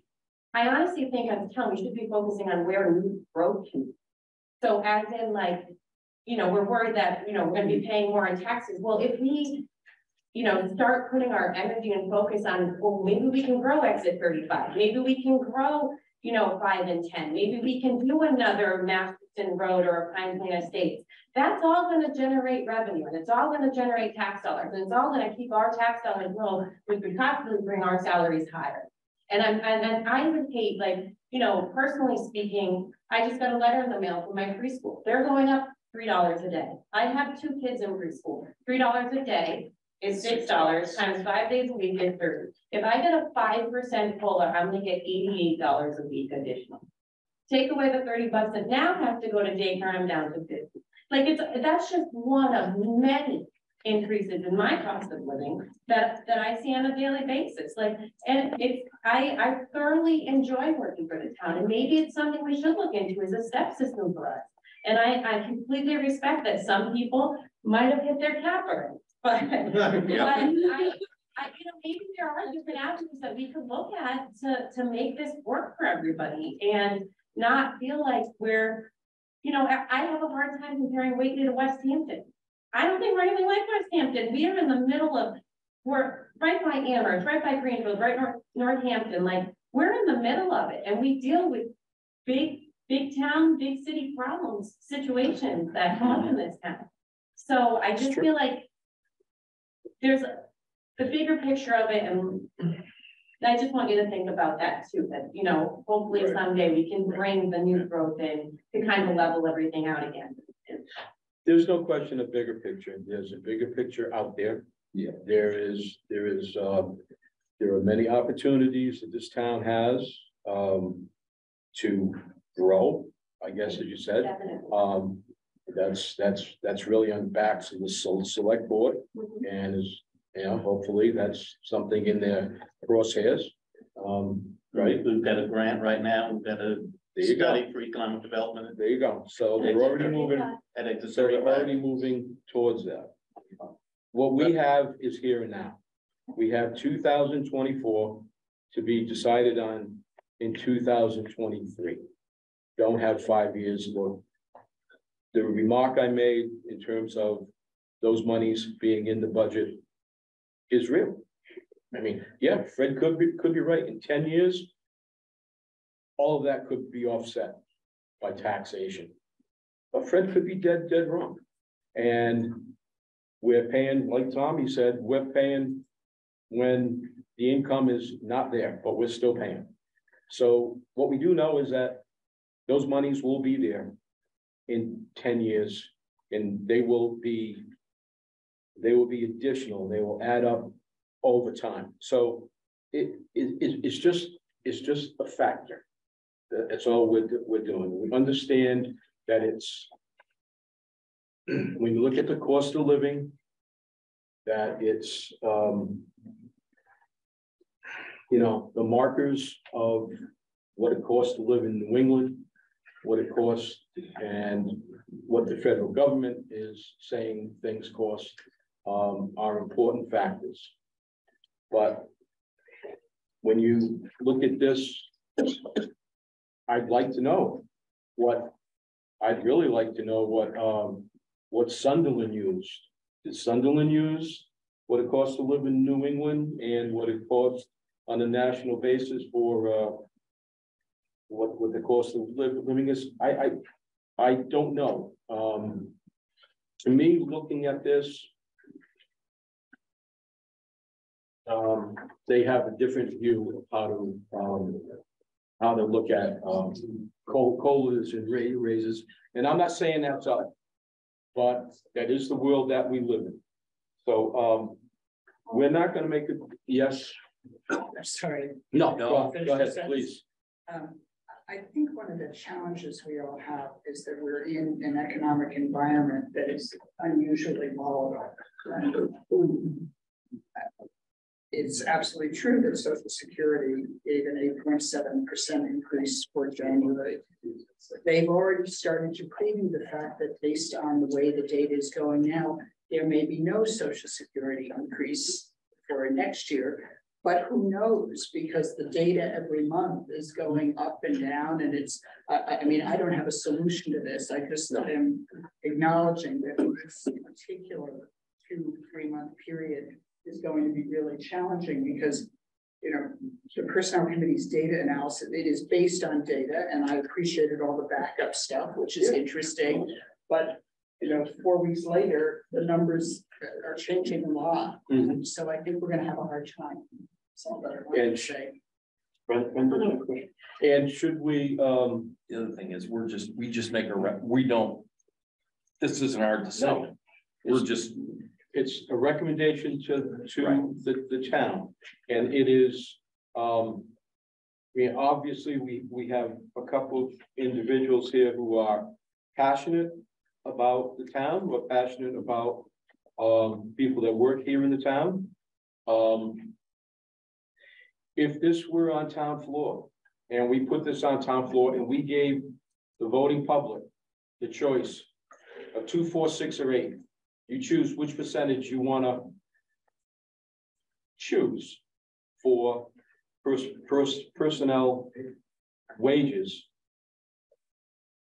It'd be interesting to see what that would be like. It'd be interesting to see what this dynamic, what this discussion would be like.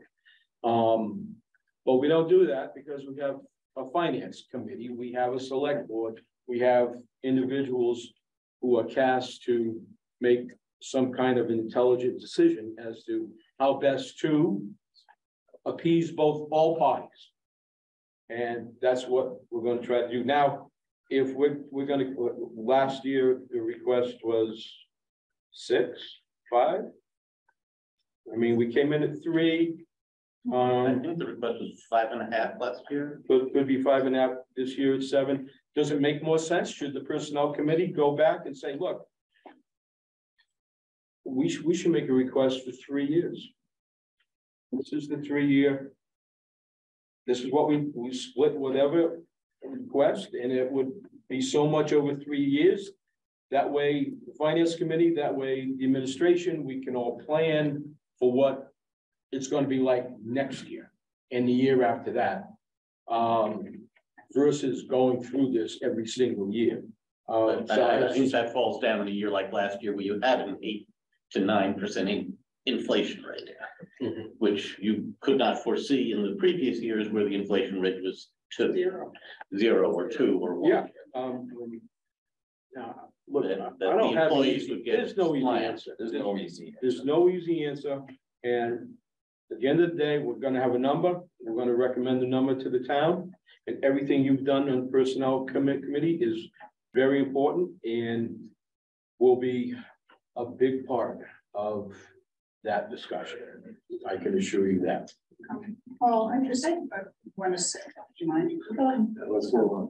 I I just want to say that I agree with your suggestion that we have s- meeting, that this committee meet earlier, perhaps next year. Um, and I've certainly worked for many years in an environment where, as you suggested, uh, a decision is made about the funds that are available for compensation increase and both across the board increases and market adjustments have to come out of that pool instead of somehow pretending that they're different things, because it's the same money, you know? Yeah, So I, right. that's not for Mhm. today or this year. No, it's not, but, but it, it's certainly something that has to be kept in the back of our minds. And one of the things, when we started this whole thing, we started to talk about salaries, and I remember Brian talking about uh, the need to um, compensate those individuals in town, those positions in town that are key. And one of, and that was due pretty much to having lost an employee to the eastern part of the state uh, where they got thrown a couple of bags of money. And, and, and, you know, when those things happen, it creates a lot of emotion, and it creates a lot of thinking about, we don't want, we don't want this to happen again. We don't want to lose more people. So it comes down to compensating people who, and compensating positions who the town feels are most important. That's why in many cases, as Don, Donna alluded to, the allocation model is really what may fit best all the way around, because it allows for planning and it also allows for compensation based on need. So I don't have anything else to add. Amy? I just wanted to make a clarification. Could I see the chart for a moment, please? Thank you. So these numbers that were given to me, unless it says in parentheses that it was approved, these are numbers that they're just throwing around. Right. They're not set in stone. They're not approved. I don't know if you recall, but last year I made all of those phone calls and I spoke to most of those people and most of those numbers were the same. And most of those um, theoretical numbers ended up getting, going on town floor and going through. Okay, and I just wanted to clarify that. Uh, I believe it was Conway has a step program, so that's why they were looking at two point five percent. And I wanna say Pelham does too, but I don't recall. correctly, and I don't want to talk out of turn. Um.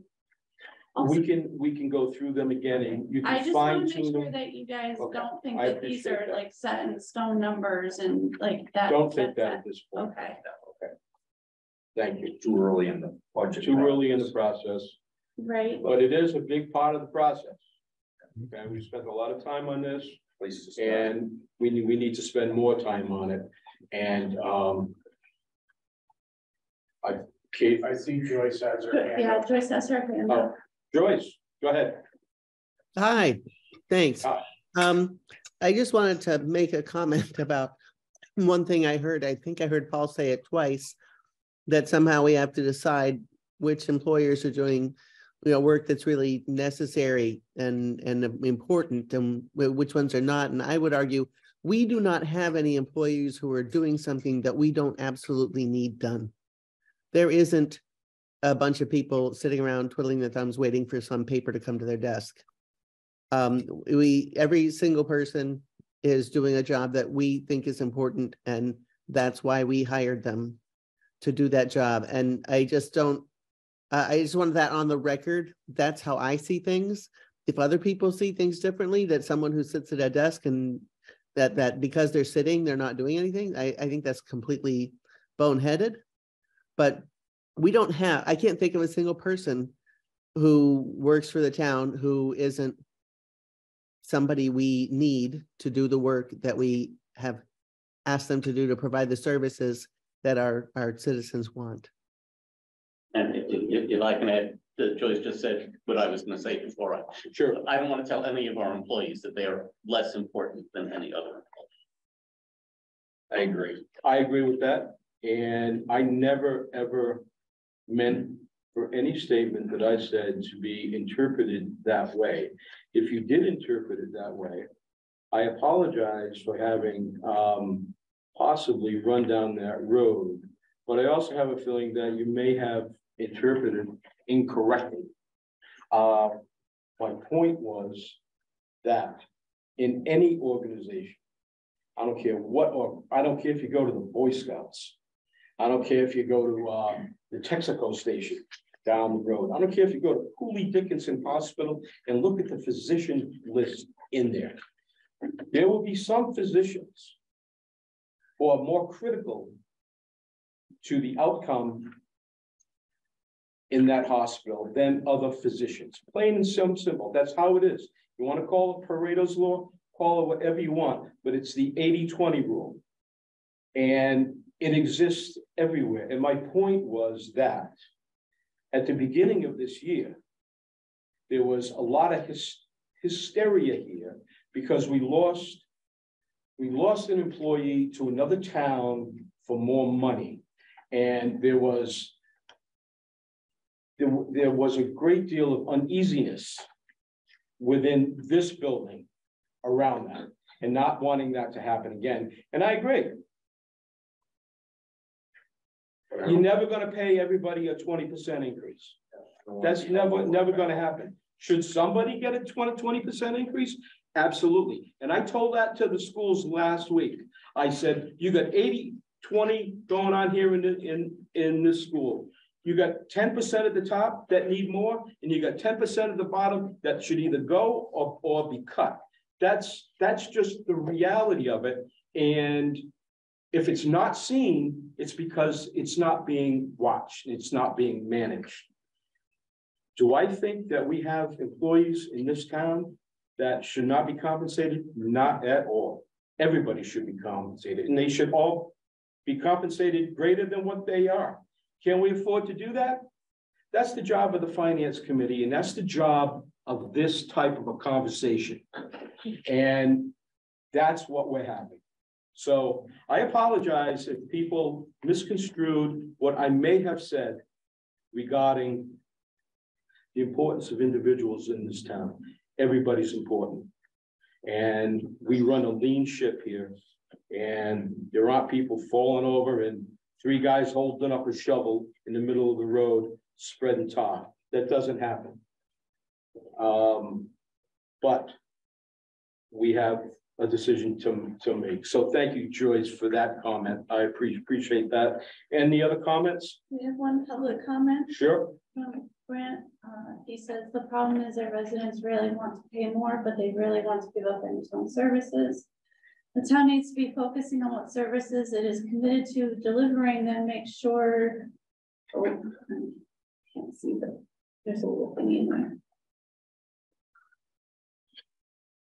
Then make sure to get good people and pay to retain, don't commit to services and then try to squeeze the people who put their hearts into delivering those services to the residents. And I have a quick comment. Did somebody in there? Comment? No, Um, that I wanted to, uh, relabel if possible, the hysteria around losing, uh, employee. We were, I, I would say we were concerned. And part of that was based on the fact that that specific employee was very adept at bringing in money. Sure. She was very adept at bringing yeah. grant money for the town. Yeah, So no Losing question. her was losing some income, and that's where we were, Mhm. that's where we got a little nervous. Yeah. Can we get somebody else who can do that kind of job Yeah. for us, because she was very good at it. And rightly so. Yeah. Um, but there were many conversations that I was either part of or heard or overheard where the, the, the, the demand is, we have to recognize that what kind of a marketplace we are in. And we have to make sure that there are that there's certain people we don't lose. And that may be everybody. I, I don't know. You know? I'm assuming that at some point there are balances, there are Yeah. balances of a good salary, a good working environment, living in a wonderful rural community, blah, No blah, blah. We can't pay what the No eastern part of the state Yep. pays. Yep. But we can offer a lot in this area that, you know, will make it, um, very And that, appealing. and I will say to this point, that should not be the job. It should not be the job of the finance committee for me to look at Amy and know what kind of percentage she's gonna get, and now she's got two kids in daycare. That's not, that's not my job. That's not our job. You know whose job that, that is? That's your job. We, we elect you and we pay you to make those decisions. Boy, That's why- Money too, right? Oh, yeah. I don't care if it's ten cents. I don't care if it's ten cents. You knew what it was before running for the job. You get the job, you get to pay, you do the job. And your job should be to take care of the employees. Our job is to give, is to tell the town how much money we should give you to take care of those employees. That's what we should do. We. I'm we- not arguing with you about jobs. I was Okay. just clarifying all right. that we lost an employee who onward. was good at bringing. All right, Yeah, onwards. All right, I'm not gonna kill this anymore. I'm tired of hearing my, myself. One comment from, One quick comment, from the police chief, Savine? one quick comment. Sure. Just looking at your numbers that you, you came up with, that you got from Dara, just look at those numbers. You have to also consider that you've added positions and hours for town employees as well. So that's not just cost of living increases for the employees, that's adding positions and adding hours to positions. Sure. So that's, that's gonna raise it as well. So you can't just look at that and say, it raised up because of the cost of living that we've given our town employees. So just want, that's only the only point. Good point. You're just looking at bottom line numbers. Yeah, but That's, that's all I could look. That's true. Yeah. When I get in touch with her and ask her for, for Yeah. what, whatever, I can't expect her to spend a day Oh, yeah. doing my questions. And she's probably gonna one have question. answers. Right, so I got one question. Okay. Thank you very much. We will, um, close out. And we will move forward. Did he, did he leave? Did Chris leave? Chris. leave? Chris? Um. Ah, thank God you didn't leave. Yeah, Come on in. Here, Here. Okay. you, uh, All right, hold on. I gotta find where, where is this? Two, What are we looking for? rec, rec commission. CRS two. We're under what? Two? Yeah, here we go, okay. Okay, Chris, um. I want to throw you, um, a job well done Okay, and the reason I'm doing that is this, um. I'm, I'm very close to the whole, um, rec basketball. Environment, okay? And that is a very important environment because. Those kids that are in that rec are also in school. And I get to hear it both ways. And for the first time, um, our rec commissioner actually went. The biggest problem with rec is this. You get, um, you get a few goodwill, good-natured, good-meaning fathers who come in, volunteer to coach, and then stack their, their teams because their son or their daughter is a pretty good athlete and he's got their friends. And next thing you know, you got four good kids on the team and the other team in town has got kids that aren't quite as skilled. That's called stacking a team. And for years, Whately and the rec department and the director of the rec department allowed stacking to occur. This gentleman came in and redid the team makeups. He made them all come back and he, he, he looked at the skill levels and then divided them up on each team. And that's what a rec director, in my eyes, should, should do. So job well done. Thank you. Okay, so with that, go ahead. Yeah, um, so yeah, I would definitely say mission success. First thing first, uh, gotta be the first time in history, Whately three, four and Whately five, six, both won the Sunderland tournament, both were undefeated. Um, so that was pretty awesome. And then second, three, four team, they actually lost on a buzzer beater. Um, so that was kind of tough, but they would have been right there in the running too. So that, that was exciting to have our teams kind of playing at the lead level. But I saw that buzzer beater and it should have been called back. That shouldn't have been allowed to score. We had a couple of kids out there who were, who, who were refing and swallowed the whistle halfway through the game. And it, well, okay. Yeah, no, I was, I was talking with, uh, the Sunderland, he's like, it's Sunderland baseball run the basketball tournament. Yeah. Sunderland, they're separate. Um, yeah, and I was talking to the guy, his kid plays for me. Yeah, he Yeah, was like running me through everything, promised the kids made, made a good call and all that. And I was like, oh, God, oh, it was something. One of those kids though, that rep, he actually plays at Davidson. I know he does. Which is pretty legit. Yeah. I gotta give him that. But I yeah, gotta give him the two. whistle, Except he didn't turn. blow the whistle. Yeah, yeah. Can't guard him outside the yard. You Can't let him shoot outside the yard. Right, Right, on. But, um, Okay. yeah, as far as, um, equipment goes, um, we've been doing great with that. Our budgets, our budget's been great with that. Um, able to keep our guys up with the, you know, our, uh, boys and girls up with the most, um, you know, elite stuff, making sure we have quantity, which, um, I think is critical. Like, every player is a soccer ball, every player is a basketball. We got a million baseballs, um, to just make it easier for coaches too. Um, you know, good collaboration with coaches this year, um, on all levels, all the way from pre-K up to grade six, so I was really pleased about that.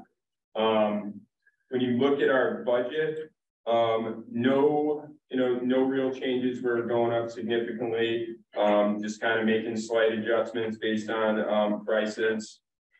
Um, the one new thing, um, was my position, direct director. Um, so we budgeted five thousand six hundred and eight dollars and twenty cents for that. Um, just based on the five hours per week. Um, and really, when you're looking at this, that is, um, the only change. Um, sports equipment replacement going up five hundred bucks, just again, the prices, you know, a dozen baseballs this year, it's unbelievable.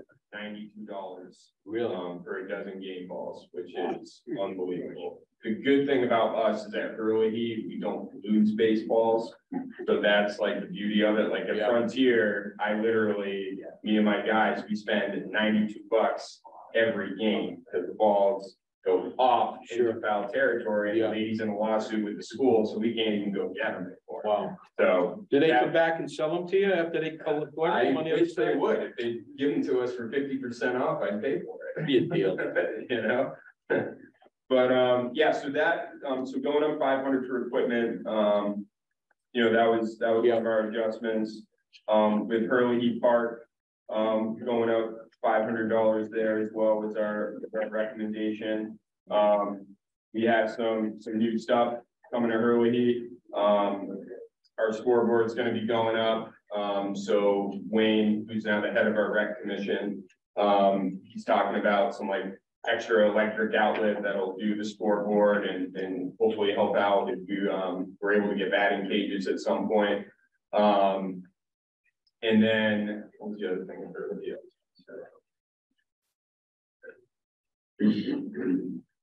know, maybe we'll come back to me, but, um. Yeah, so, oh, recycling bins and trash bins, um, we ended up like doubling up on those, and, um, we actually have them set up right around with all the fields, we have a couple more. In the bank that we're gonna put out as well, once it gets nice out, um, so our, uh, bill from BKN Solutions, they do our trash. So that's going up due to, um, due to the number of trash and recycling bins that we now have. Um, but trash is no longer an issue, which is great. That's good. Um, yeah, but, um, yeah, as far as our budget goes, those are the adjustments, um, just some numbers.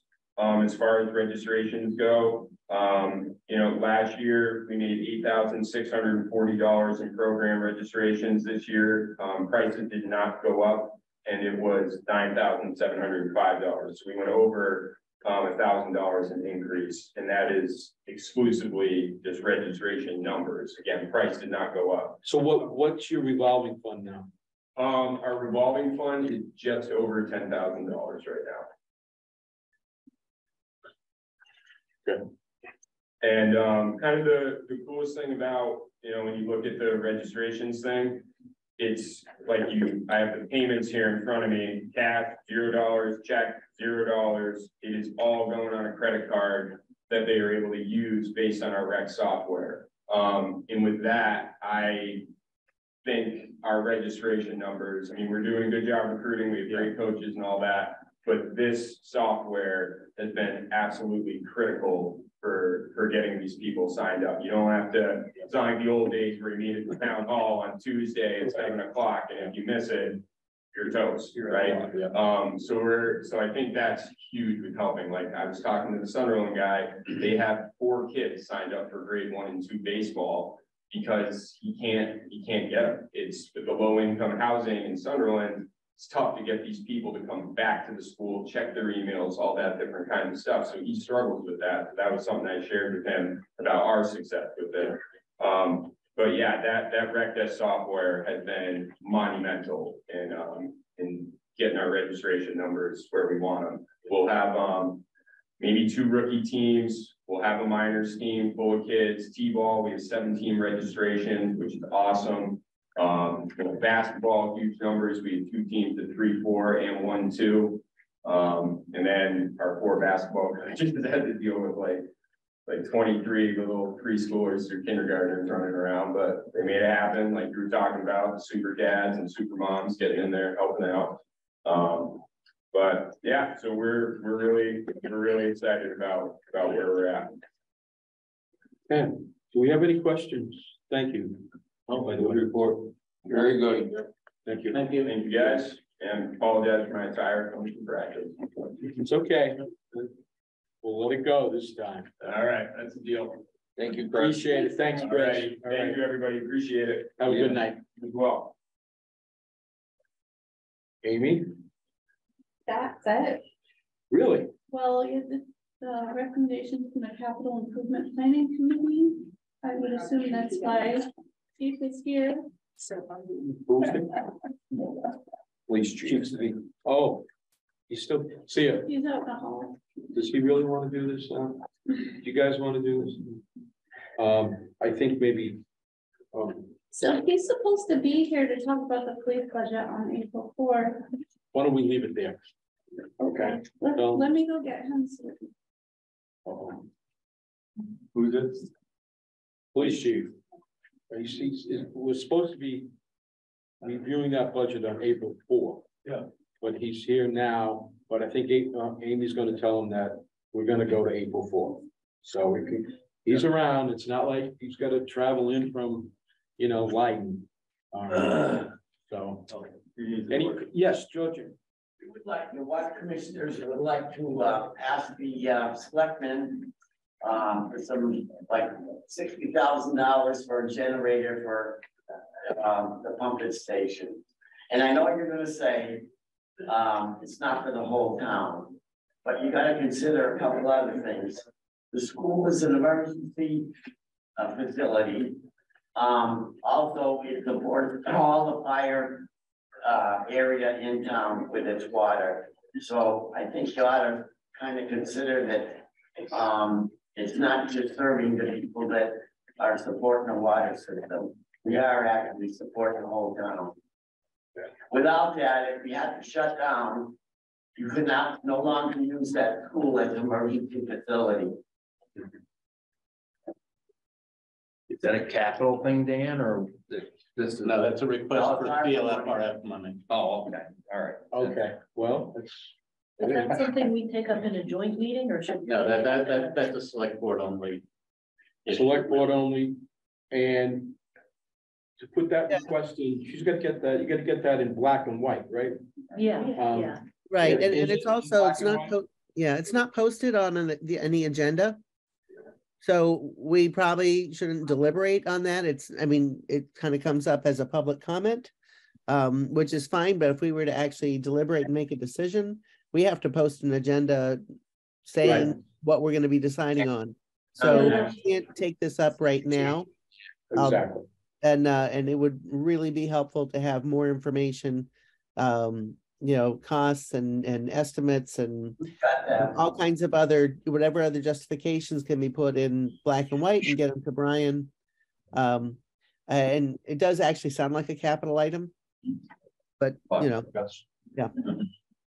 Is this, you know, not to muddy the waters here, but is this separate from the generator for the uh crossover Yeah, pumping this station? would be at the main pump house. Okay, Even theirs would be obsolete without this. yeah. We have nothing down there now. Okay. No. Whatever water we have in the tank when the power That's goes it. off, that's what we got. So are you set with how to go about this? Yes. Yeah. Black and white, Brian, to select board, get on their agenda, bring it up again, and we'll, you- they'll deal with it on that side, Okay. okay? Beautiful. Beautiful, thank you. Um, anything else for tonight? Any other questions, thoughts, comments? Okay, do I have a, uh, Motion to adjourn. motion to adjourn, second? All those in favor? Aye.